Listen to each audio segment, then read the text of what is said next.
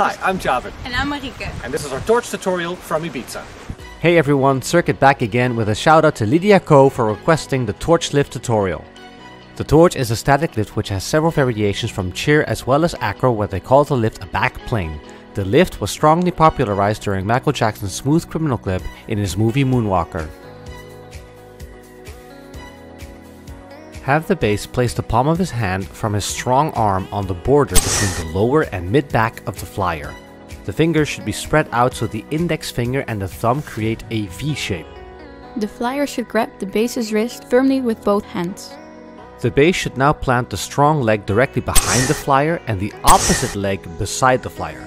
He should maneuver his head underneath her arm to avoid getting hit in the face by her elbow.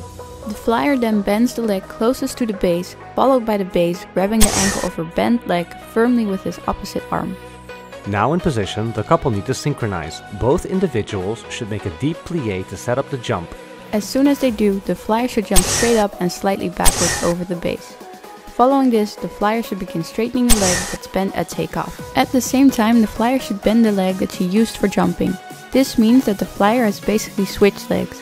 The leg she used to jump at the start becomes bent, and the leg that was bent will become straight at the top. The base should keep his neck tilted to the side and make sure that he bends his knees really deep to try and get as much of his lifting power from his legs and not his back. As soon as the flyer jumps, he should immediately place himself underneath her and pull her bent leg towards his chin with his opposite arm so she can push herself into the air.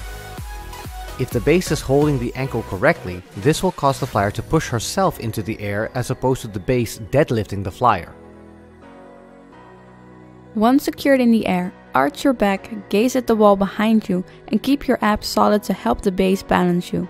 If you get there and everything is going well, release your hold on from the base's wrist and place them in a graceful position. The spotter. The spotter should position himself on the opposite side of the base.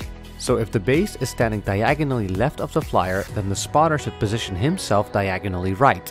The spotter should take a wide stance, put one arm through the opening of the flyer's arm, placing his hand on her mid-back. The other hand should be placed on the lower hamstring of her standing leg. If it's a new technique for the couple, the spotter should give the flyer a small boost to help the base get her past the dead zone. Once high up, the spotter can help stabilize the flyer or give the base's arm extra support. And that's our torch lift tutorial!